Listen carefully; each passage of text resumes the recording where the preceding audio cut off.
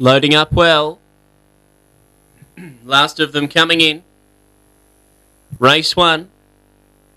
First on a 12 race program. All in.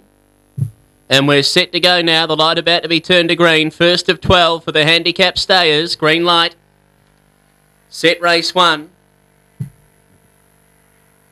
And away. It's a plane left well from box two. Away very quickly. Poppy Peak to spring out and lead. Alazan, it's a plane. Got a beautiful run. A charm run to third. Only three off the lead. Being followed by Ed's Intention. Then Jane's Intention. Railing through OK Jake over Flash Intention and Liebig Street last. A lap to go.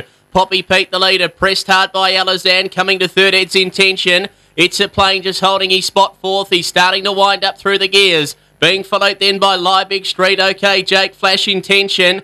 Jane's intention had brought up the rear. Alazan grabbed the lead, but it's a plane charged her on the rail. Took the lead. Liebig Street followed the move to second, and then OK Jake into the straight. It's a plane had found a clear lead, and he charged away. It's a plane all too good by three to quarter. Liebig Street four lengths away. Third OK Jake, and then Ed's intention being followed by Jane's intention. Poppy Pete. Well back flash intention. Alazan didn't stay the trip, and the run 42 and 24.